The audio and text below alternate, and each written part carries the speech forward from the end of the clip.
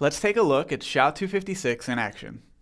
We'll demonstrate this using the website anders.com. The website provides an excellent demonstration to show how hash values work. We put a link to the site below the video if you'd like to follow along.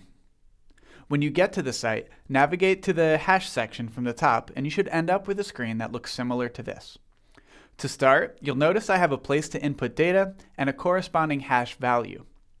What this site does is generate a unique hash using SHA-256 from whatever data you type in. Try typing something and notice how the hash value changes every time the data changes. If I type in blockchain developer nanodegree program, I get a hash value. This hash is the unique value for this string of text. If I remove some text, like the word developer, the hash becomes something completely different. It's something unique to the new words I wrote. If I type the word developer back into my original text, I'm back to the original hash. The value for this data will always be the exact same string.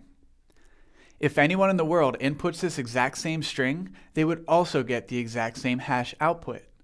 But if the data is similar, but not exactly the same, it'll be a completely different hash value.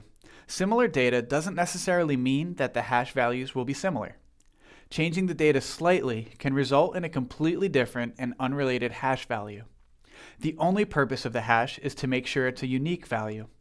It's not something to reference if you're interested in understanding how data is related. That's the basic purpose of a SHA-256 hash. It's used to produce a digital identity for any given value of data. Remember this basic idea as we go into blocks, blockchains, and more detailed concepts.